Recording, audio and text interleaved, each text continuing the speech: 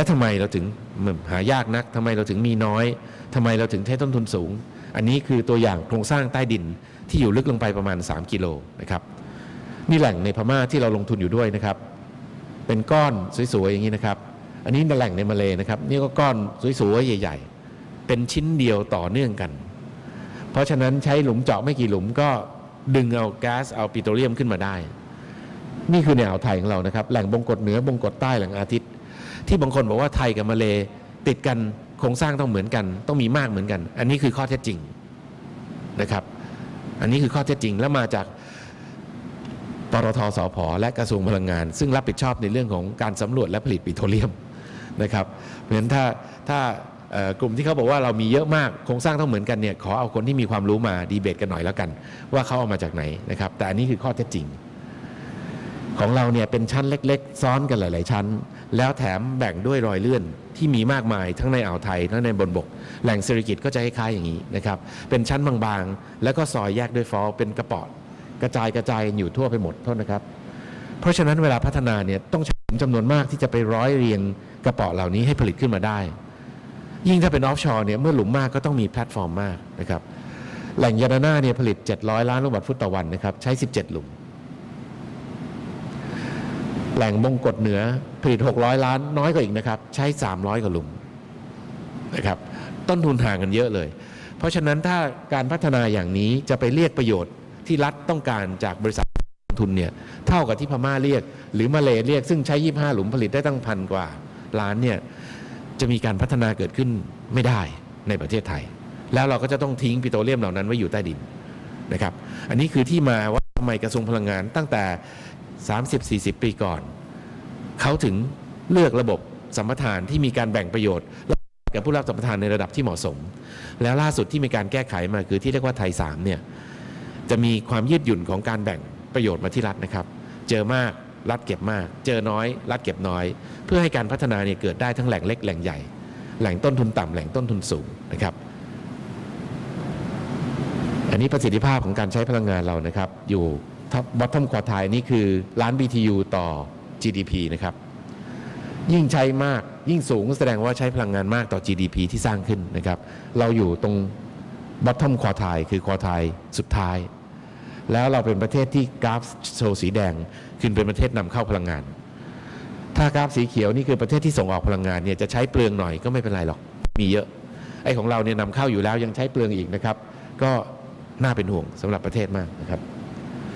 อายุเราพูดไปแล้วนะครับ ของไทย 7 ปีนี่ก็อยู่บอททอมเหมือนกันอยู่ปลายๆนี่เลยของเวเนซุเอลานี่ 300 ปีนะอายุของเขาเพราะฉะนั้นจากความท้าทายทั้งหมด เป้าหมายของปตทสพคืออะไร วันนี้เราลงทุนในการพัฒนาผลิตนี่นะครับ เราผลิตอยู่ประมาณ 3 0 0แสนกว่าบาร์ต่อวัน ในส่วนที่ปตทสพเป็นเจ้าของ 80%อยู่ในประเทศนะครับสีฟ้า 20%เราเริ่มไปผลิตจากต่างประเทศ เป้าหมายของเราคือว่าในปี 2020 นะครับอีก 7 6 7 ปีเนี่ยเราจะพยายามขึ้นไปให้ถึง 6 0 0 0 0 0 บาร์เรลต่อวัน เพื่อชดเชยกับสิ่งที่เราต้องนำเข้ามา เราต้องไปเป็นเจ้าของการผลิต ชดเชยกับสิ่งที่เราต้องนำเข้ามา จะได้บริหารความเสี่ยงในเรื่องราคาให้กับประเทศไทยนะครับ แล้วมาจากไหนก็มาจากในประเทศเนี่ยซึ่งแหล่งต่างๆ ที่ผลิตอยู่ในประเทศนะครับ แหล่งเศรษฐกิจแหล่งบงกฎไพลิน อาทิตย์ JDA เนี่ยอายุนี่ 20-30 ปีแล้วนะครับ ก็วัยเรียกว่าวัยชราสำหรับแหล่งผลิตแล้วนะครับ เพราะปกติเนี่ย 20-30 ปีนี้ก็จะหมดละ ความท้าทายเราคือใช้เทคโนโลยีเพื่อรักษาระดับการผลิตให้ได้เท่ากับปัจจุบัน พวก mature field เนี่ยต้องหาเทคโนโลยีในการที่มาดึงขึ้นมาให้มาได้เต็มที่นะครับ แล้วก็หาแหล่งเล็ก ๆ น้อย ๆ ที่มันกระจายอยู่รอบๆเนี่ยมาชดเชย ก็คือพวก marginal field พวกเล็ก ๆ กระป๋อยิ่งเล็กกว่าที่เมื่อกี้ผมแสดงเนี่ยหรืออยู่ไกลไปเอาเข้ามาให้ได้ อันนี้คือความท้าทายเราที่ต้องใช้เทคโนโลยีมาช่วยนะครับ แล้วก็ต้องไปต่างประเทศนะครับ สีเขียวนี่คือไปต่างประเทศ แล้วที่เราพอเห็นชัดๆเนี่ยมันขึ้นไปถึงประมาณ 400 4แสนแต่ยังต้องหาอีก2แสนนะครับเพื่อให้ขึ้นไป 600เนี่ยต้องมาจากการไปลงทุนในต่างประเทศที่มันไกลออกไปละ ที่มันท้าทายมากขึ้น พวกออยแซนพวกเชลออยเชลแก๊สที่เราไม่คุ้นเคยเราต้องไปละ พวกน้ำลึกดีบอเตอร์ที่ลึกกว่าในอ่าวไทยอ่าวไทยนี่น้ำลึก 70 เมตร วันนี้เราไปลงทุนใน 1,000 เมตร 1,500 เมตรก็ต้องไป พวกนี้คือต้องใช้เทคโนโลยีเข้ามาช่วยนะครับ นี่คือเหตุผลที่ว่าทำไมเทคโนโลยีถึงมีความสำคัญอย่างยิ่ง กับโจทย์ของปตทสพซึ่งมีความสำคัญอย่างยิ่งกับความมั่นคงของพลังงานของประเทศไทยนะครับ อันนี้คือ 11 ประเทศที่เราเป็นทุน 43 โครงการทั่วโลกเนี่ยนะครับ หลักๆ ก็พยายามจะไปหาประเทศที่สามารถจะส่งปิโตรเลียมเข้ามาได้ด้วย คือเป็นเจ้าของการผลิตด้วย แล้วส่งเข้ามาด้วยจะยิ่งดีนะครับเราก็ลงในประเทศไทยนะครับในรอบๆบ้านเราพม่านี่เป็นเรียกว่าบ้านที่ 2สพนะครับไปลงเยอะแล้วก็ประสบความสำเร็จทีเดียวในการที่จะนำก๊าซมาใช้ประโยชน์ในประเทศไทย ล่าสุดก็เป็นแหล่งที่เราไปสำรวจเอง ด้วยตัวของเราเองเลยนะครับ เมื่อประมาณเกือบ 10 ปีที่แล้วสำรวจแล้วก็พบพัฒนา แล้วก็เริ่มผลิตส่งมาเมืองไทยแล้วนะครับ ส่งไปประเทศพม่าให้เขาใช้ประโยชน์ด้วยตั้งแต่เดือนมีนาคมปีนี้ แล้วก็เพิ่งส่งมาประเทศไทยเนี่ยเดือนสิงหาคมต้นเดือนนี้เองนะครับต้องให้ประเทศเขาก่อนนะครับเขาเป็นเจ้าของทรัพยากรนะครับเดี๋ยวเขาไม่ขายเรา วันนี้ก็ส่งมาใช้ในประเทศไทยแล้วนะครับนอกจากนั้นเราก็ไปเนี่ยครับอินโดนีเซียก็ไปมีปัญหาอยู่บ้างออสเตรเลียมีปัญหาอยู่บ้างแต่ก็ต้องไปนะครับ ไปจัดหารูปแบบ LNG ไปจัดหาน้ำมันมานะครับ ไปแอฟริกานะครับโมซัมบิกเคนยานะครับอัลจีเรียนะครับโอมาน พวกนี้ก็มีบางส่วนที่น้ำมันจากโอมานนี่มาใช้ได้ในเมืองไทย ส่วนก๊าซที่ตั้งใจว่าจะเอา LNG มาใช้ประโยชน์ในเมืองไทยนะครับแต่ว่ายังไม่เกิดจะเกิดอีกประมาณสักหลายปีเหมือนกัน 5-6 ปี ถึงจะผลิตขึ้นมาได้นะครับไปถึงแคนาดาออยแซนซึ่งมีปริมาณสำรองศักยภาพมากมายเลยนะครับเป็น potential สำหรับ long term supply ของโลกเลยนะครับ แล้วก็กำลังพิจารณาในเรื่องของ shale gas shale oil ในอเมริกา อันนี้คือสิ่งที่สพมองเป็นกลยุทธ์ทางธุรกิจที่จะตอบโจทย์ความท้าทายของเรา แล้วก็ต้องใช้เทคโนโลยีทั้งนั้นในการที่จะไปพวกนี้นะครับ เพราะว่าโมซัมบิกเนี่ยน้ำลึกประมาณพันหนึ่งบราซิลเราไปเริ่มสำรวจนะครับน้ำลึกพันหนึ่งถึงพันห้าร้อยเมตรนะครับเป็นความท้าทายนะครับก็อย่างที่เรียน ดีมานนะครับจะเพิ่มขึ้นเรื่อย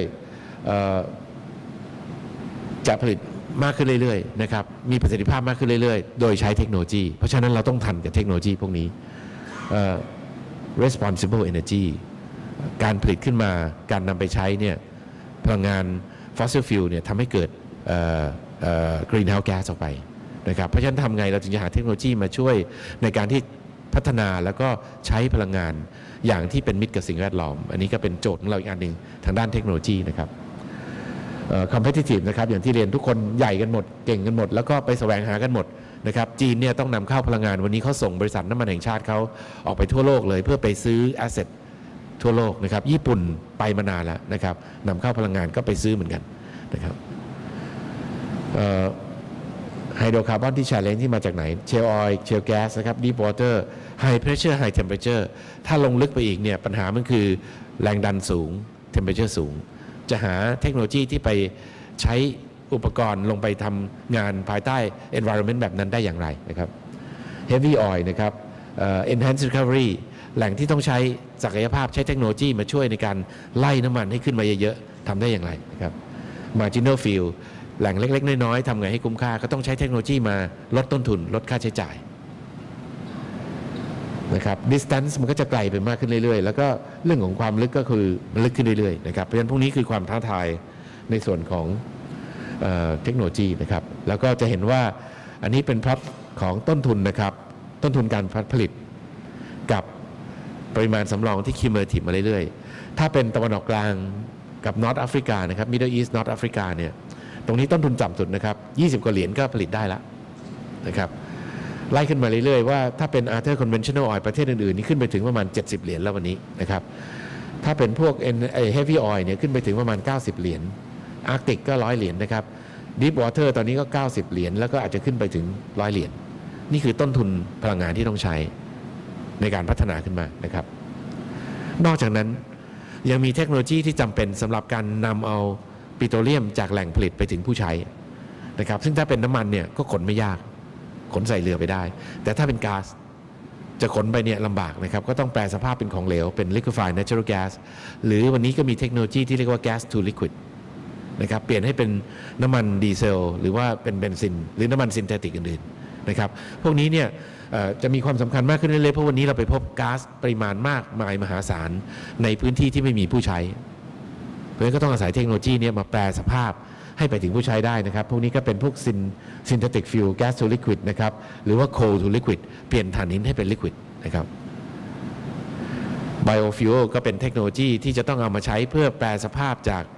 biomaterial ให้กลายเป็นเป็นพลังงานให้ได้เหมือนกัน พวกนี้ก็จะมีเทคโนโลยีมากมายนะครับ ซึ่ง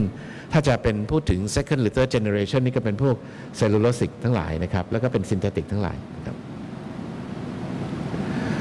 ก็เรียนว่าวิสัยทัศน์เรื่องเทคโนโลยีเนี่ยเริ่มมาจากที่บริษัทแม่คือปตท.นะครับ โดยเฉพาะซีอีโอคนนี้นะครับ คือดร.ไพลินทร์เนี่ยท่านจบ PhD ทางด้านchemical engineer เพราะฉะนั้นท่านมีเทคโนโลยีอยู่ในหัวใจตลอดนะครับ มาโปรโมทเลยว่าปตท.ต้องเป็น techno- นะครับ technologically advanced ขึ้นเอาเทคโนโลยีขึ้นก่อนเลยนะครับ and green national oil company เป็นบริษัทพลังงานแห่งชาติที่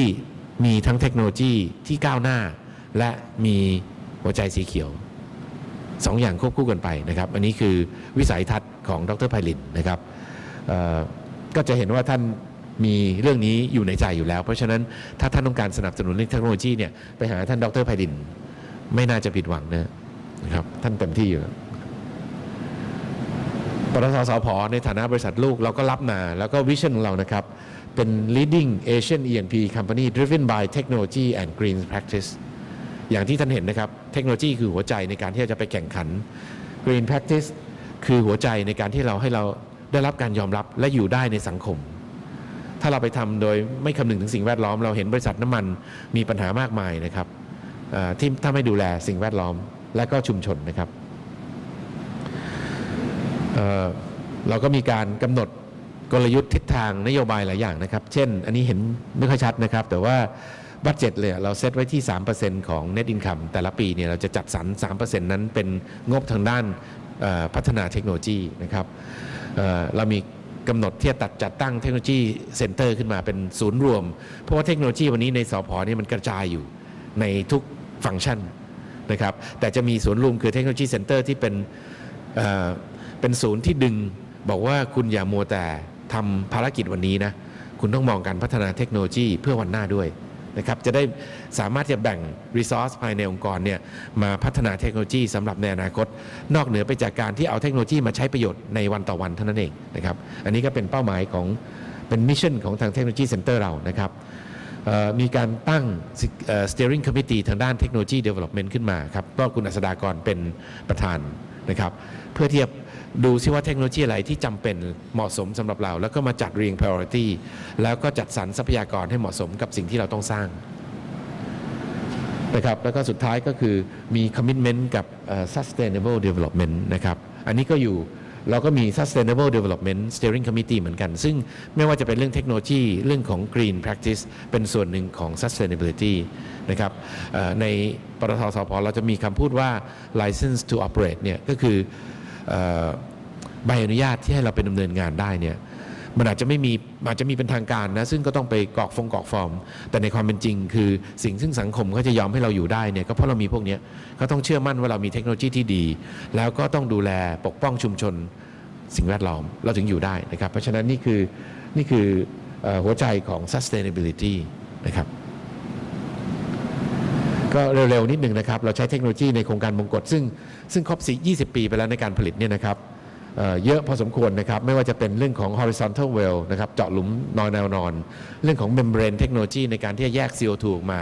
เพราะก๊าซอ่าวไทย CO2 เยอะนะครับ flare gas recovery unit แก๊สแทนที่จะแฟลกไป แล้วก็เอากลับมา recover เข้ามาใน process ของเรานะครับ รวมถึงน้ำที่ผลิตขึ้นมาจากใต้ผิวดินแต่พร้อมกับน้ำมันเนี่ยพร้อมกับก๊าซนะครับเราก็กลับมา process แล้วก็ reinject กลับเข้าไป เพราะฉะนั้นไม่มีการทิ้งน้ำที่ขึ้นมาจากข้างใต้ลงไปในทะเลนะครับ กลับไป reinject แหล่งน้ำมันสิบสิริกิตนะครับ ครบรอบ 30 ปีไปแล้วนะครับ ตอนนั้นท่านสมเด็จท่านเสด็จไปเปิดตั้งแต่เมื่อเกือบ 30 ปีที่ประมาณ30 ปีที่แล้วนะครับ สมัยนั้นเชลเป็น operator นะครับ ก็ครอบคลุม 4 จังหวัดบนบกนี่นะครับ ใช้เทคโนโลยีเยอะพอสมควรนะครับ วันนี้เนี่ย natural flow ก็คือไหลขึ้นมาโดยแรงดันธรรมชาติเนี่ยเหลือแค่ 12%ของกำลังการผลิตเท่านั้นเองนะครับ 50%มาจากแก๊สลิฟต์ใช้แก๊สลงไปช่วยทำให้มันเบา ที่เหลือนี่มาจากปั๊มนะครับ มาจากบีมพัมมาจากพัมตัวนี้เอ submersible pump หลายๆอย่างรวมกันนะครับ ก็ต้องใช้เทคโนโลยีบีมพัมนี่ก็คือไอตัวซักรอดตัวหัวหัวม้าที่เราเห็นบนผิวดินนะครับ เราซื้อกิจการนี้จากบริษัทเชล เมื่อปีประมาณสัก 2004 นะครับ 2004 เราซื้อมา ตอนแรกเชลเป็น o อ e r a t o r นะครับเขาก็ผลิตอยู่ maximum 25,000 ขึ้นมาแต่แต่25,000 แล้วช่วงที่เขาตัดสินใจว่ามันเล็กเกินไปสำหรับเชล แล้วแหล่งคงจะหมดไปละเขาก็ปล่อยให้มันค่อนข้างดีคลายลงตามสถานะนะครับ ก็อาจจะดูแลแต่ว่าไม่ได้ใส่ความพยายามมากมายนักหรอก เพราะว่าสำหรับเชลเนี่ยถือว่าเป็นแหล่งที่เล็ก ถ้าเชลเทียบกับเชลทั่วโลก เชลที่เมืองไทยนี่พยายามจะทำเยอะ แต่ว่านโยบายจัดสรรมาจาก บริษัทแม่นะครับพอเขาตัดสินใจขายแล้วเราเข้าไปซื้อเนี่ยก็จะเห็นว่าแหล่งมันจะดีคลายลงมา จนต่ำสุดหลังจากที่เราซื้อมาก็ใช้เวลาสักพักหนึ่งนะครับ ประมาณสักครึ่งปีเนี่ยกลับมาแล้วค่อยกลับมาขึ้นมาเรื่อยๆนะครับเมื่อปีที่แล้วเนี่ยพีคของแหล่งนี้คือ 37,890 บาร์เรลต่อวันนะครับจากตอนที่เราซื้อมาเนี่ยอยู่ประมาณสัก 1 8ื่นนะครับอันนี้ด้วยเทคโนโลยีด้วยฝีมือของคนไทย ที่เราทุ่มเทแล้วก็ใช้ความพยายาม แล้วก็ให้ความสำคัญใส่เข้าไปนะครับเรื่อง fracturing นะครับ reservoir fracturing ข้างใต้ เรา infill ทำ water drive water flood นะครับอันนี้ต่อเนื่องมาจากโปรเจกต์โปรแกรมที่เชลเริ่มไว้นะครับ เราก็มาทำต่อเอเรื่องของการ integrate information ต่างๆ เข้ามา เพื่อใช้ระบบเทคโนโลยีมาช่วยในการบริหารจัดการการผลิตนะครับนะครับ นอกจากนั้นในเรื่อง Green Technology นะครับสองส่วนนี้ผมคิดว่าเรากำลังอยู่ในช่วงการ ดำเนินการอยู่ก็คือ Carbon Capture สำหรับ CCS เนี่ยนะครับสำหรับ Carbon Capture and Storage กำลังดูอยู่ว่าจะทำได้คุ้มค่าไหมในเมืองไทย เพราะว่าหัวใจมันคือไอ้ตรง storage เนี่ยยากหน่อย ต้อง inject กลับเข้าไปแล้วมันต้องหา reservoir ที่เหมาะสมอยู่ใกล้ ๆ นั้น เพื่อจะ inject CO2 กลับไปได้นะครับ conversion to methane อันนี้ก็กำลังทำวิจัยอยู่ว่าเทคโนโลยีมีแล้วทำไงให้มันคุ้มค่าในเชิงเศรษฐกิจนะครับส่วนพวกนี้เนี่ยเราทำอยู่แล้ว fly reduction นะครับ produce water usage for EOR ก็คือน้ำที่ขึ้นมาก็เอากลับไปใช้ water flood แล้วก็ fracture water สำหรับการ fracture เนี่ย minimization แล้วก็ treatment นะครับเรื่องนี้เดี๋ยวผมขออนุญาตให้คุณอัศดากรเข้าไปพูดถึงแล้วกัน เพราะว่า part ของ Focus Technology ที่เรามีนะครับ ก็ขออนุญาตจบตรงนี้นะครับ แล้วเดี๋ยวกลับมา Q&A กันใหม่อีกรอบนะครับ ขอบคุณครับ